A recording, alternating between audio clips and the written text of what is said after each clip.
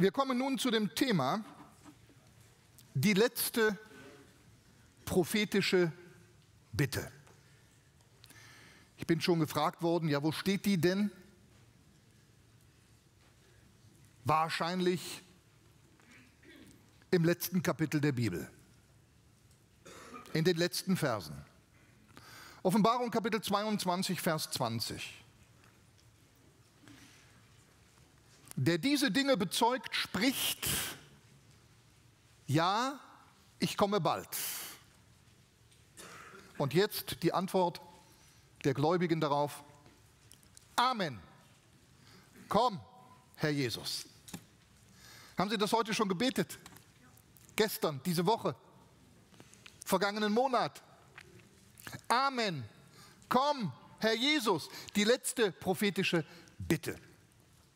Mir kam eine Geschichte in die Hand.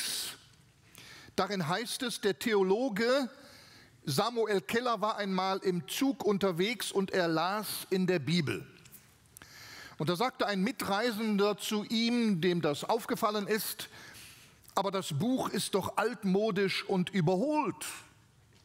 Und darauf antwortete Keller, stellen Sie sich einmal vor, lieber Herr, es erscheint eines Tages ein Buch mit unwahrscheinlichen Prophezeiungen für die nächsten vier Jahre.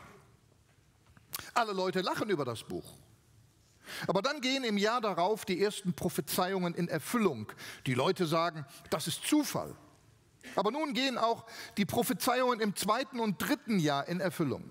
Was würden Sie daraus schließen? Der Mitreisende antwortete, ich würde daraus entnehmen, dass dieses Buch doch die Wahrheit sagt und die restlichen Prophezeiungen auch in Erfüllung gehen.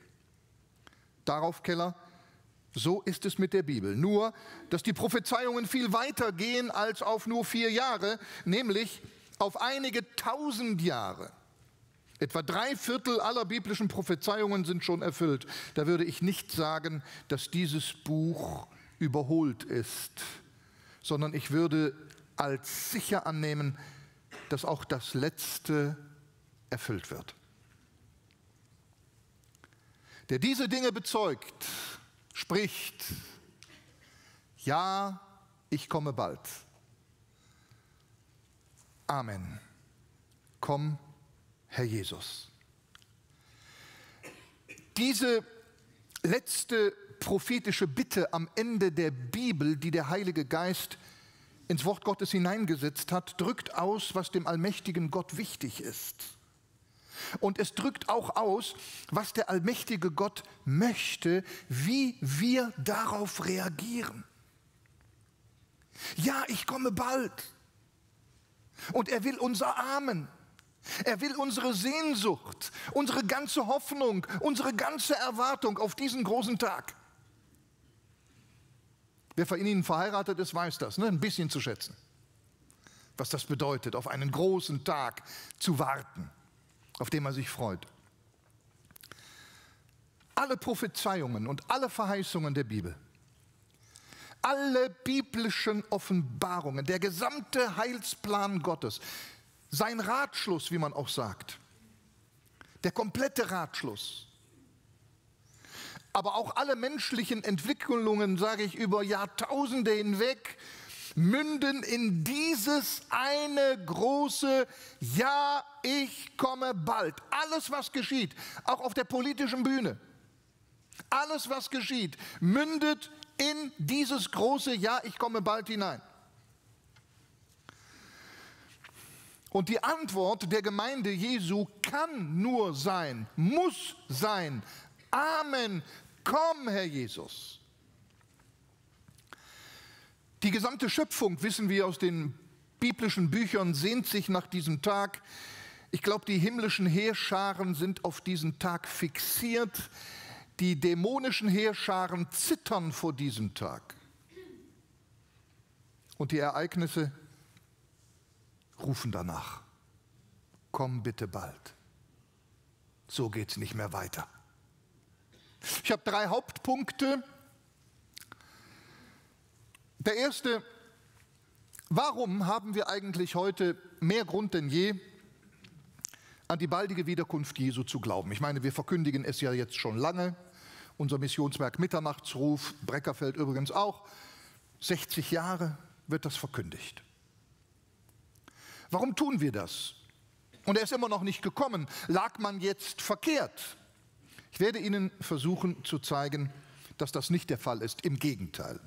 Warum haben wir heute mehr Grund denn je auf die baldige Wiederkunft Jesu zu hoffen? Weil, und da haben wir schon die Antwort, weil wir heute die gleiche Situation haben, und wir werden nachher noch näher darauf eingehen, wie bei der ersten Ankunft Jesu.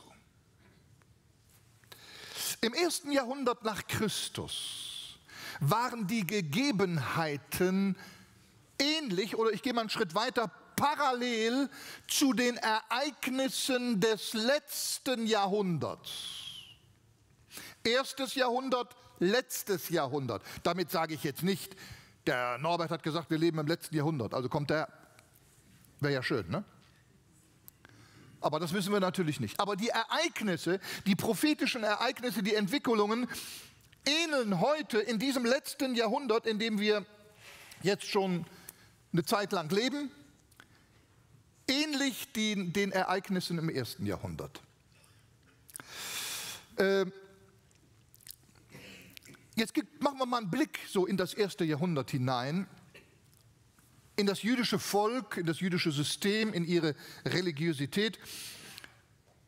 Aufgrund der Daniel-Visionen, und viele Juden kannten ja ihre Bibel, wussten sie, dass das Reich Gottes bevorstand. Das wussten die aufgrund der prophetischen Bücher und ganz besonders aufgrund des Daniel-Buches. Und deshalb standen damals in Israel, als Jesus das erste Mal geboren wurde, auch nicht wenige tatsächlich in Erwartung. Die Weisen aus dem Morgenland zum Beispiel, die kamen wegen dem Stern, weil sie den Stern sahen. Aber sie hatten eine Vorgeschichte, sie hatten mehr Erkenntnis. Daniel hat in äh, Babylon gelebt, er hat die Prophetie gekannt und die Prophetie verkündigt. Die waren informiert und jetzt sahen sie den Stern. Ein Stern wird aufgehen von Jakob. Und da dachten die tatsächlich, da muss der Messias geboren worden sein. Und sie kamen nach Bethlehem. Oder denken wir an Simeon. Simeon, dieser alte Mann im Tempel, äh, der Jesus segnete, er stand in Erwartung, jetzt haben meine Augen deinen Heiland gesehen. Oder denken wir an Hannah. Hannah auch, diese über 80-jährige Frau, die im Tempel diente, Tag und Nacht betete und fasste. Und sie sah den Herrn Jesus und sie erzählte in ganz Jerusalem zu allen, die auf ihn warteten. Ja, warum warteten die denn? Was für einen Grund hatten die eigentlich damals, Jesus in ihrer Zeit zu erwarten? Was meinen Sie? Ganz einfach, die prophetisch-biblischen Bücher. Und da bleibe ich jetzt mal bewusst bei Daniel stehen. Aufgrund von dem Daniel-Buch wussten die Juden, jetzt ist die Zeit reif, dass der Messias kommt, dass das Reich Gottes anbricht. Ich nehme jetzt nur mal zwei Beispiele. Daniel Kapitel 2, da haben wir die Vision des Nebukadnezars über die Statue. Im Daniel-Buch Kapitel 7 haben wir die Vision, die Daniel bekommt, über die vier Tiere gleich vier Weltreiche. Und im Daniel wird erklärt, ja, wenn das vierte Weltreich da ist, dann kommt Gottes Reich. Und dann kommt sein Messias, der Menschensohn aus Psalm 2 oder aus Daniel Kapitel 7 der Sohn Gottes. Und jetzt, natürlich, die wussten, also da kommen drei Weltreiche. Das babylonische Weltreich, das medopersische Weltreich, das griechische Weltreich und dann kommt ein nicht genanntes Weltreich, das wird noch viel größer sein, viel kräftiger, viel mächtiger und in diesem vierten Weltreich bricht das Reich des Messias an, das dann die ganze Welt einnehmen würde. Und jetzt ist doch ganz klar, es liegt auf der Hand. Das wussten die Juden. Okay, drei Weltreiche sind ja bereits Geschichte. Das babylonische Reich war untergegangen, das medopersische Reich gab es nicht mehr. Das wussten die alles glasklar. Das griechische Reich gab es auch nicht mehr und anstelle des griechischen Reiches standen sie jetzt unter der Herrschaft eines viel größeren, viel mächtigeren Weltreiches, nämlich des römischen Weltreiches. Und jetzt wussten wir, das Reich ist da. Das vierte.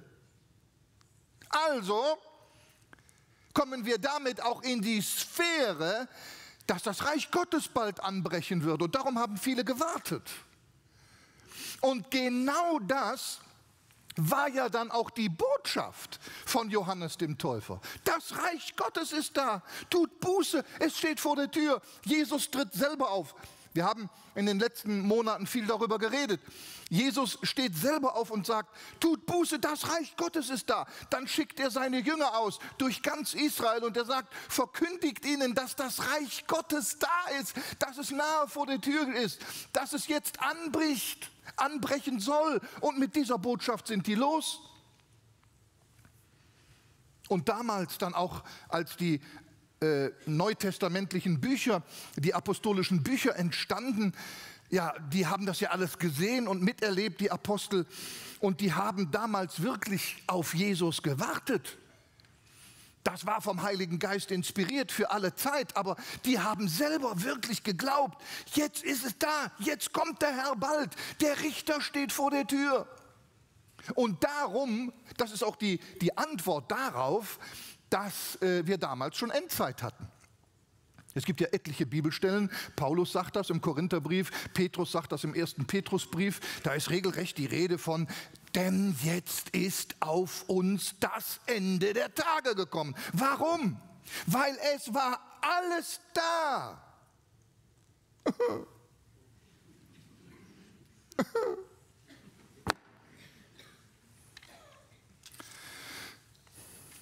Jesus wurde verworfen.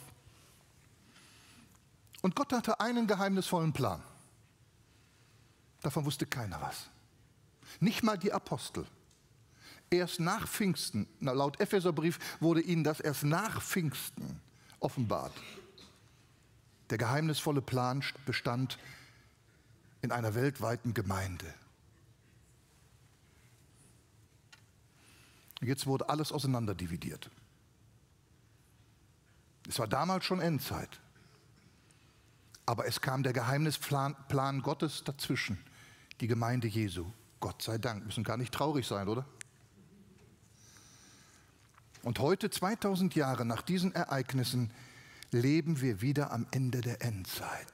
Wir haben, wenn ich das mal so darf, sagen darf. Ein, einerzeit haben wir schon 2000 Jahre Endzeit, aber ich sage mal im, im, in Verbindung mit dem ersten Jahrhundert, ich hoffe, Sie verstehen mich, kann man heute sagen, heute haben wir wieder Endzeit.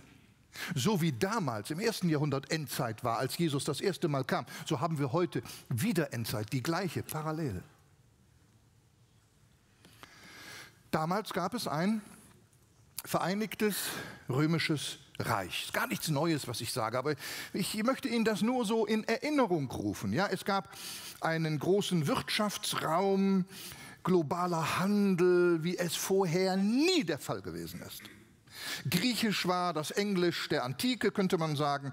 Die Grenzen waren größtenteils aufgehoben. Es gab so eine, so eine Art Schengener Abkommen, ja. Wenn ich, den, wenn ich Römer war, da konnte ich ohne große Hindernisse, konnte ich da durch die Gegend reisen. Ne? War jetzt schwierig, ich kam mit zwei Gänsen in, die, in einer. Äh, ja, gut, ich muss jetzt, jetzt habe ich angefangen. Ich kam mit zwei Gänsen äh, gereist äh, über Ungarn, die hatte ich da gekauft für Weihnachten, Familienfest. Und da kam ich an den, an den Schweizer Zoll und äh, da frug die mich doch glatt, was haben sie an Ware anzumelden? Uiuiui, wir sagen, Jonathan, nicht zwei Gänse. Was? Zwei Gänse? Haben Sie die selber geschossen? Ne? Ich sage, nein, die habe ich, hab ich da äh, gekauft. Auf dem, äh, ja, äh, wie viel wiegen die denn? Ja, ich sage, eine wiegt fünfeinhalb Kilo. Wir hatten schon hochgerechnet. 230 Kilo, äh, 230 Franken Gebühr. Außer was die schon gekostet haben. Da, ja, zeigen Sie mal alle Ihre Ausweise, Papiere. Und dann, und dann ist sie weggegangen und nach 10 Minuten, 15 Minuten kam sie wieder zurück und so, ah, ist gut, Herr Lied, fahren Sie weiter. Halleluja. Halleluja. Ja, nebenbei. Vielleicht zur Auflockerung, ja. Also damals gab es auch so ein Schengener Abkommen. Es existierten in den damaligen Verhältnissen ein nie dagewesenes Verkehrssystem, Straßen, Kommunikation, Infrastruktur. Kenner sagen, die Post verlief zur Zeit Roms mindestens so gut wie heute. Ja, ja, ihr Postpötler. Haben wir ja welche. Ne? Gibt mal Dampf. Rechtswesen, Kulturaustausch. All das war da und man sagt, der Wohlstand im römischen Reich zur Zeit Jesu war so groß für die allgemeine Menschheit, wie es erst wieder heute in unserer sogenannten Endzeit der Fall ist. Auch die moderne Gesetzgebung, Rechtsprechung, alles das gründet sich auf Rom. Heute, ich möchte, das darf mich jetzt nicht so lange aufhalten, heute ist das Bestreben der Welt darauf ausgerichtet, ein Reich hervorzubringen. Mag es heißen, wie es will. Ob es wieder Rom heißt oder anders, es wird wahrscheinlich viel größer sein als das römische Reich, viel mächtiger noch, vielleicht andere Dimensionen haben über die Grenzen des damaligen römischen Reiches hinaus. Aber wir merken, Rom wird, wie es die Propheten auch angekündigt haben, irgendwie so, es wird zu einer Art Auferstehung kommen. Und die Entwicklungen gehen ganz in diese Richtung. Muss ich Ihnen jetzt keine aktuellen Sachen, das kriegen Sie selber mit in den Medien jeden Tag, oder? An der Spitze, zweitens an der Spitze dieses damaligen römischen Reiches und damit wurde eigentlich das römische Reich erst zum römischen Reich. Die Entwicklungen gab es ja schon vorher, aber erst als dieser Mann an die Macht kam, war Rom Rom. Und dieser Mann hieß Gott gleich, Kaiser und Cäsar. Er lebte zur Geburtsstunde Jesu Christi, er hieß Augustus. Kaiser Augustus Ähm, eigentlich hieß er anders. Er hieß ja Julius Caesar Octavianus. Er wurde zum ersten römischen Kaiser gewählt und eingesetzt. Und unter ihm kam es unter diesem sogenannten Pax Romana. Also man könnte sagen, erst mit Augustus wurde Rom eigentlich Rom. Die Entwicklungen waren schon da. Aber als er an die Macht kam, da war plötzlich Bomb. Und überlegen Sie mal, ausgerechnet genau wie die Propheten es angekündigt haben, wird da kommt tatsächlich der Sohn Gottes. Ist doch herrlich. Er wurde zum Cäsar berufen, wie gesagt, er bekam den Ehrennamen Augustus, der erhabene oder sogar anbetungswürdige, und er wurde zum ersten römischen Alleinherrscher ernannt. Das gab es vorher nicht. Und sogar als Gott von einem Gott abstammend bezeichnet. Da macht es Klingelinge. Und genau da kommt der wahre Sohn Gottes. Perfekt der wahre Sohn Gottes, Gott von Gott abstammend. Und wir wissen aus den biblischen Zusammenhängen, dass sich das wiederholen wird. Heute ist man dabei, ein Reich aufzubauen, aber es, es hakt und hinkt und, und, und, und, und äh, ist so schwerfällig an allen Ecken und Kanten. Aber wenn dann der richtige Mann kommt, aus dem Nationenmeer, Römer, äh, Entschuldigung, Offenbarung Kapitel 13, dann kommt es aber ganz schnell. Und das könnte jeden Tag soweit sein. Aus dem Nichts.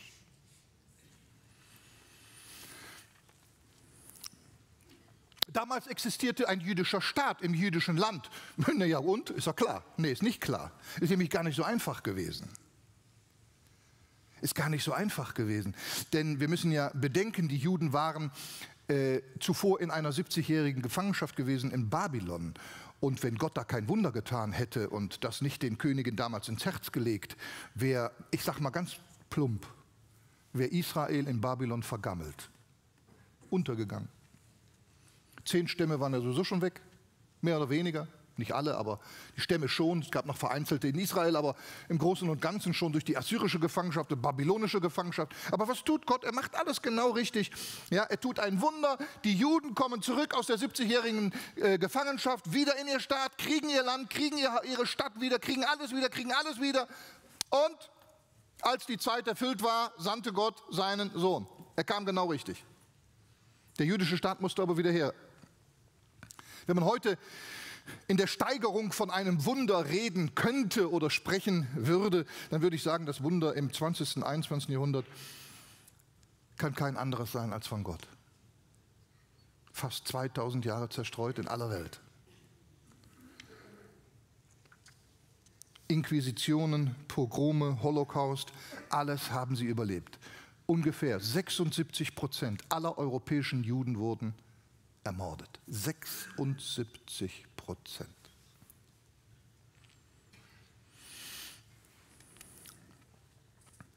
Doch Gott, auch nach dem Prophetenwort, Jesaja zum Beispiel Kapitel 6, erhielt einen Samen übrig und er führt den Rest zurück in ihre Heimat und lässt sie wieder zu einer eigenständigen Nation werden. Und heute, wenn ich mich nicht irre, sind es wieder ungefähr sieben Millionen, zwischen sechs und sieben Millionen Juden im eigenen Land. Und sie haben diesen Status wieder, Staat, Nation.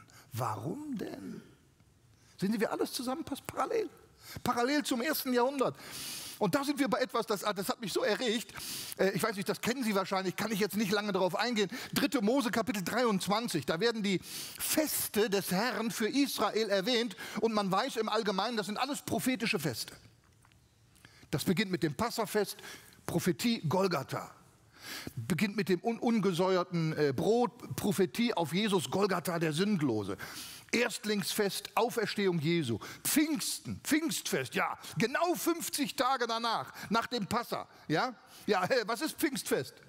Na, ist doch klar, prophetisches Pfingstfest, ja, ist ja schon Gemeinde mit eingepackt. Und dann gibt es ein Fest, das heißt das Fest des Lärmblasens. Und da weiß man nicht so richtig, ja, was ist das jetzt so ein Fest? Eigentlich das einzige Fest, das man nicht so richtig deuten kann. Alles andere kann man glasklar deuten. Passa, Golgatha zum Beispiel, ja, das Lamm.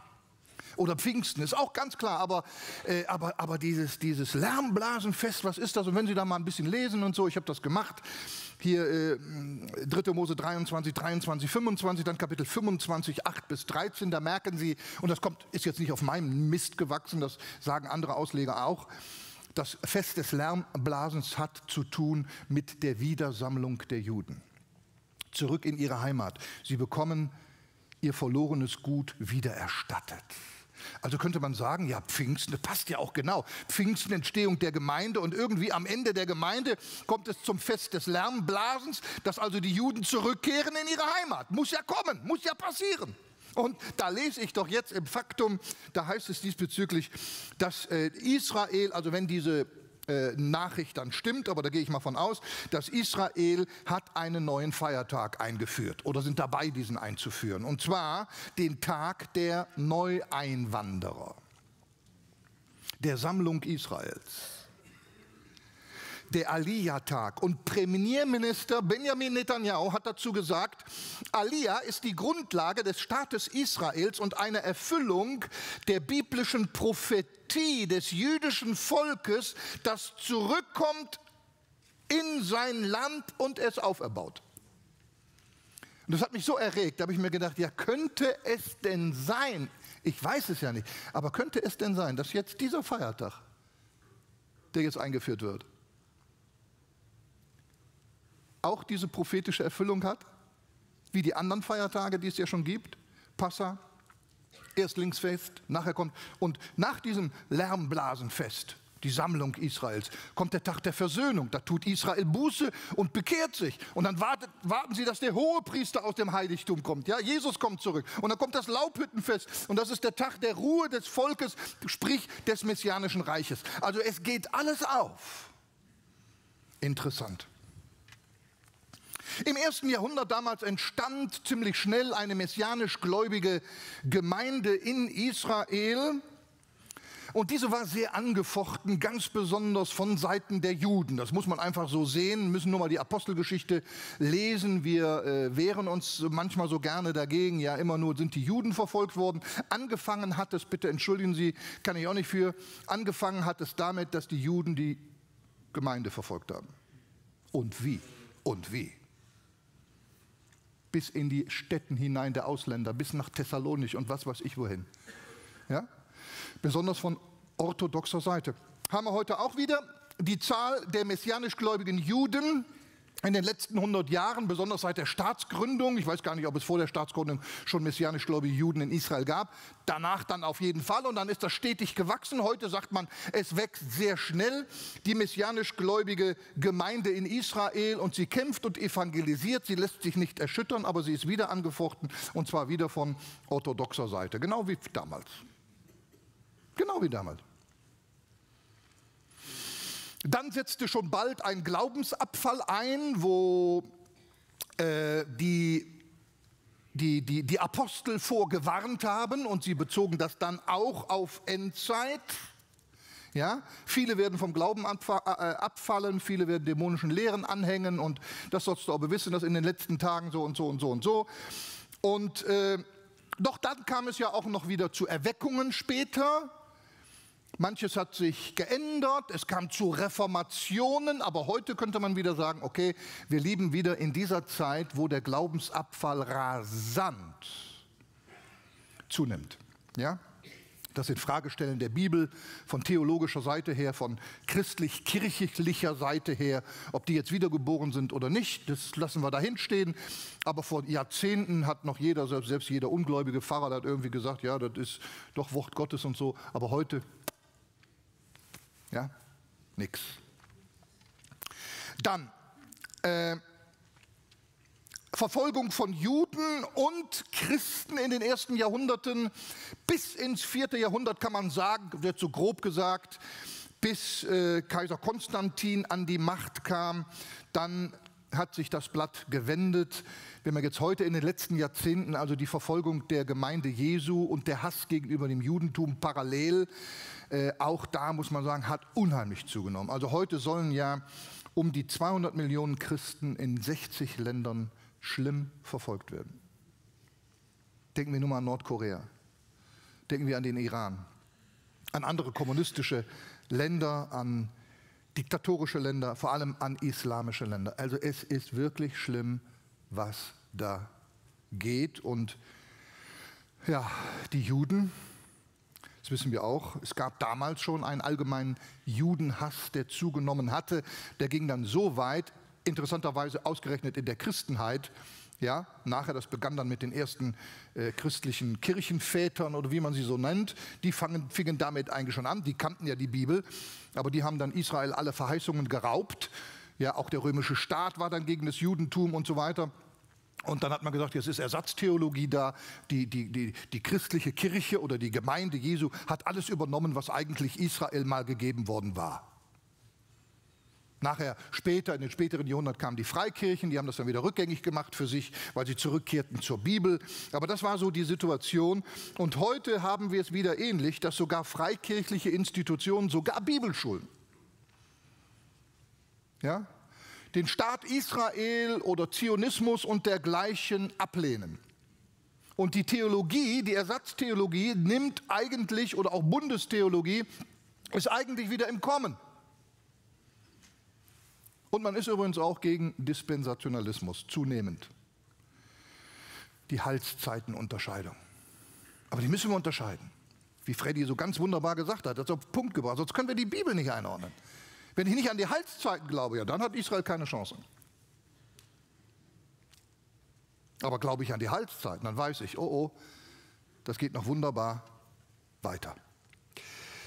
Also es scheint ganz so, dass unsere Zeit in allen Teilen eine große Parallele aufweist zu der Zeit beim ersten Kommen Jesu. Und das muss so sein. Weil damit wird jetzt die Bühne geschaffen für den großen endgültigen Auftritt unseres Herrn Jesus Christus als Herr aller Herren und König aller Könige.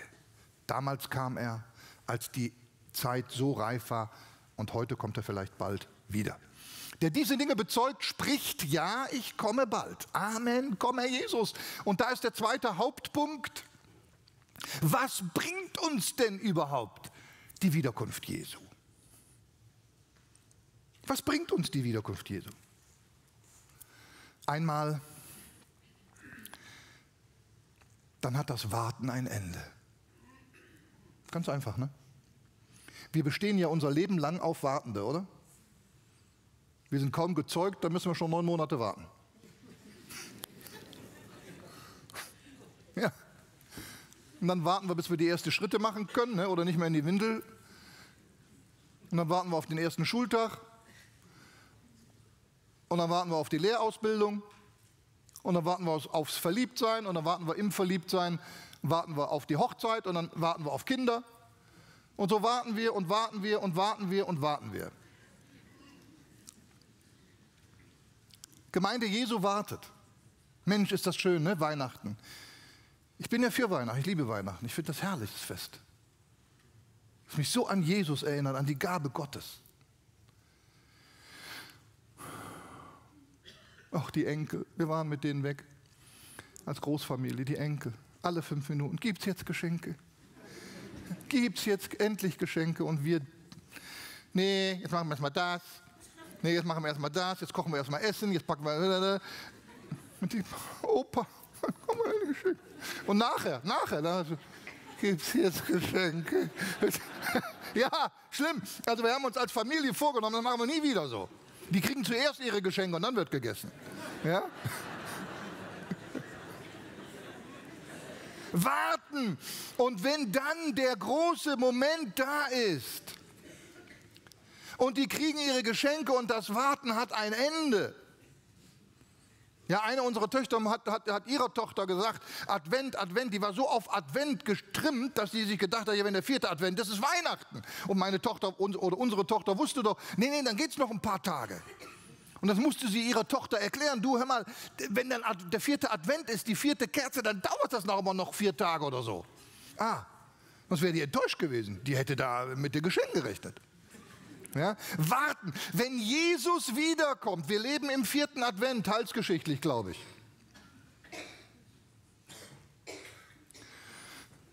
Wenn Jesus wiederkommt, hat das Warten ein Ende.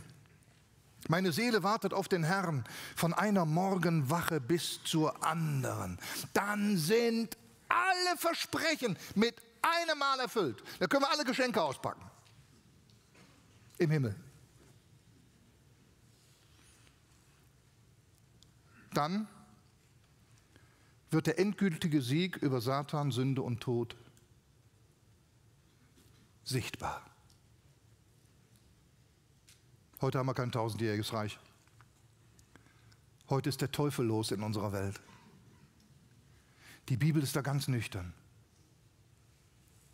Die sagt im Epheserbrief 2,2 über die Mächte der unsichtbaren Welt zwischen Himmel und Erde, dass die dort herrschen. Und da heißt es, jenem Geist, der bis heute in denen am Werk ist, die nicht bereit sind zu gehorchen. Ganz nüchtern, der Teufel regiert die Welt. Der Teufel regiert die Regierenden. Der Teufel regiert die Politik, die Medien, bis in die Familie hinein. Das eigentliche Zeitproblem, das wir haben. Das kommt vom Teufel. In und durch Menschen, die Jesus nicht recht geben, die Jesus nicht in ihr Lebenshaus aufnehmen und damit befreit werden von dieser Macht. Alle Süchte, aller Egoismus, alle Untreue, aller Abfall, aller Hass, der zunehmende Widerstand gegen Gott, der Terrorismus, das Flüchtlingselend, die Ratlosigkeit, im großen globalen, aber auch hier im eigenen Herzen. Der Krieg, das nicht befreit werden, das gekettet sein. Geht alles von der Sünde aus. Der Tod herrscht. Der Teufel. Obwohl er theoretisch und auch, auch wirklich schon besiegt ist, aber es wird dann erst noch in die Praxis, ganz in die Praxis umgesetzt. Wer an Jesus glaubt, erfährt das heute schon. Aber Jesus hat gesagt, ähm, ich sah den Satan wie einen Blitz vom Himmel fallen. Das kommt noch. Aber er hat es damals schon gesehen, im Blick auf Golgatha.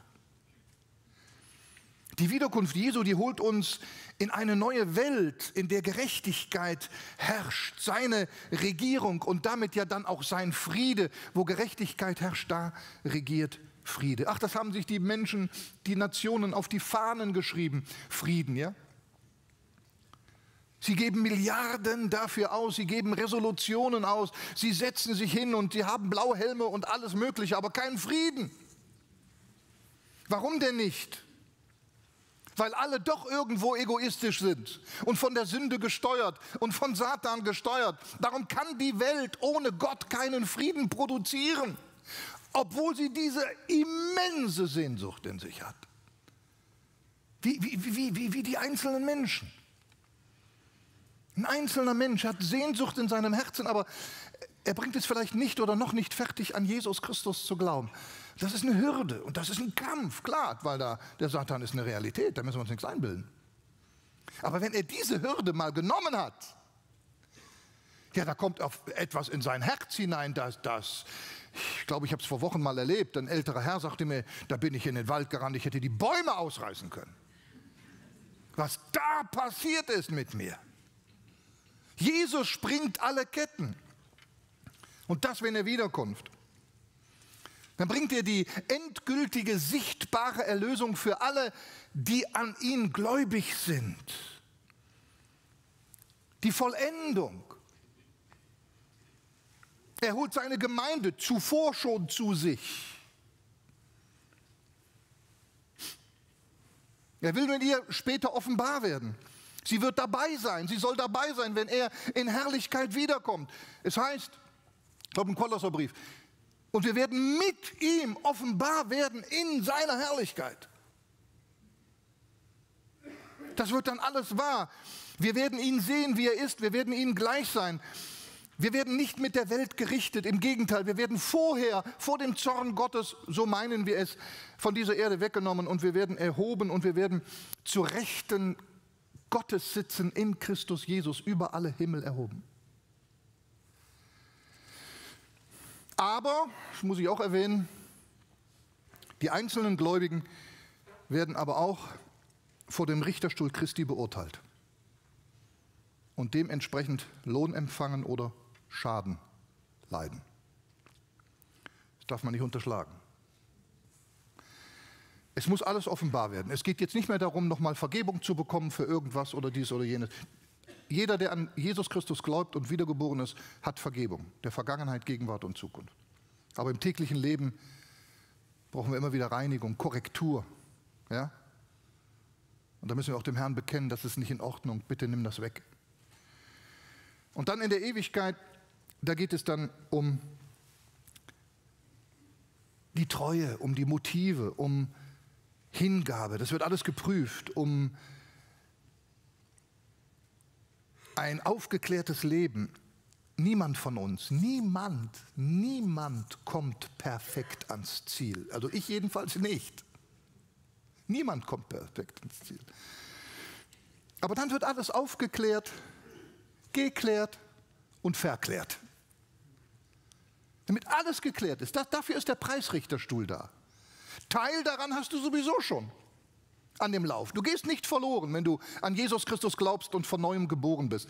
Aber jetzt soll alles geklärt werden, alles aufgeklärt werden, ja? Alles bereinigt sein, auch die zwischenmenschlichen Beziehungen zum Beispiel. Alles durchs Feuer der Läuterung und es wird nichts unklar bleiben. Und dann muss auch das geklärt werden, wofür wir zu stolz waren, es hier schon zu klären. Auseinandersetzungen, brüderlichen Zwist, Lieblosigkeit, Missverständnisse, die wir nicht geklärt haben, verschiedene Ansichten oder Neid, Missgunst. Man hätte sich doch mal zusammensetzen können. Mensch, Bruder oder liebe Schwester, in der Frauengruppe, da ist doch irgendwas mit, mit uns da.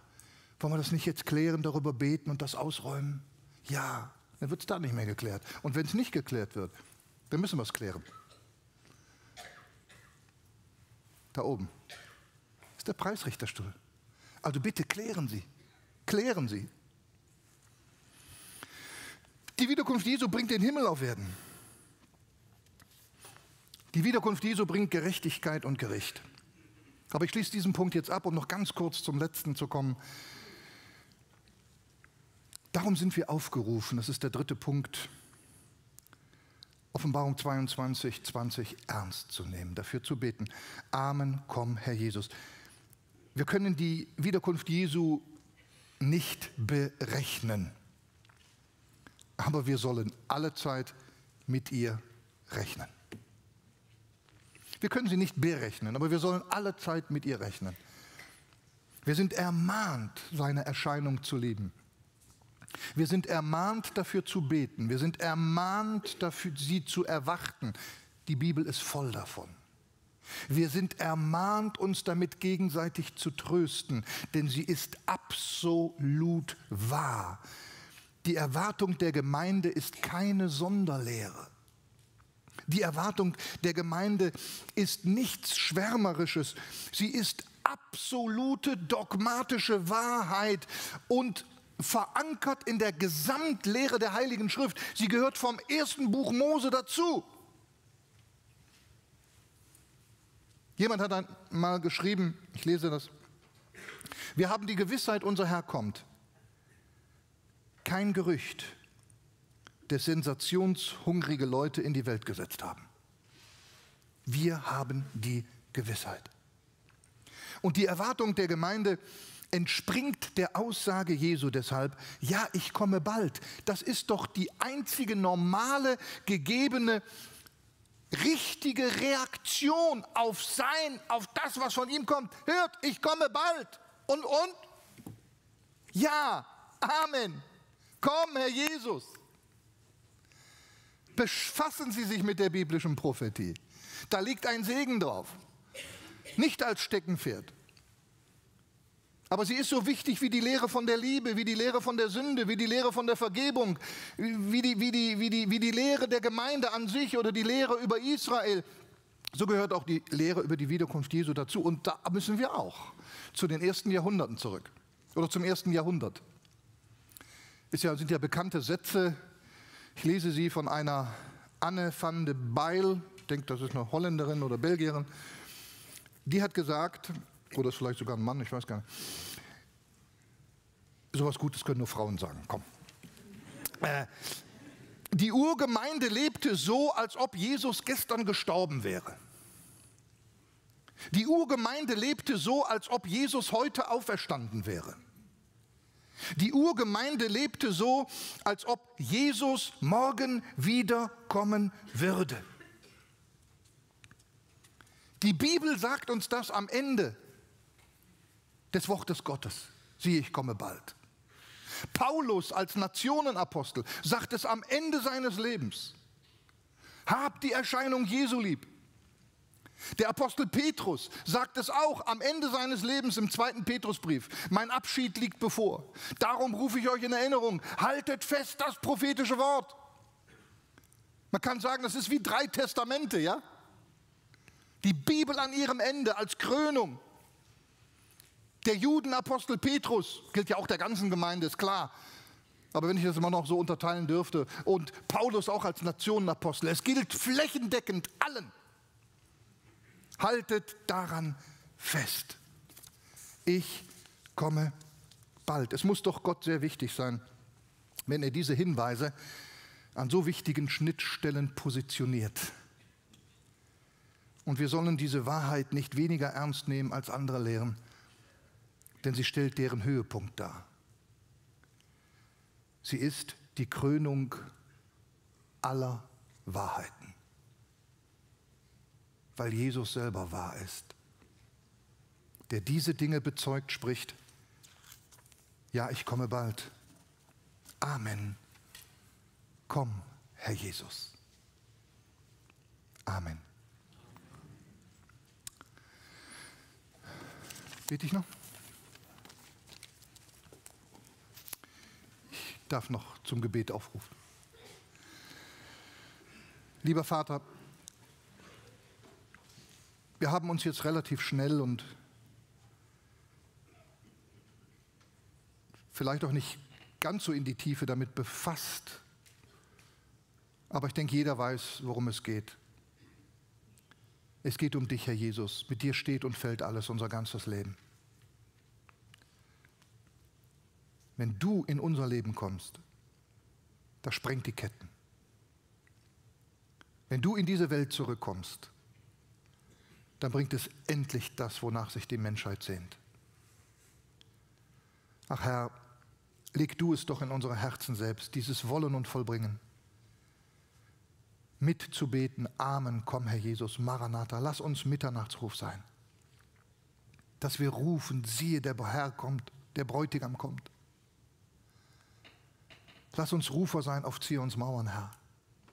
Beter, die sich nicht schämen, das zu verkündigen. Eingepackt in die ganze Heilslehre deines Wortes. Wir danken dir, dass du uns selbst den Antrieb dafür gibst. Ich bitte dich jetzt auch ganz besonders für heute Mittag, jetzt das, das Essen, das wir einnehmen dürfen und nachher Samuel, dieses wunderbare Thema mit alten Verheißungen ins neue Jahr, Herr. Gib ihm Gnade, Freiheit, Freude. Hab Dank dafür. Amen.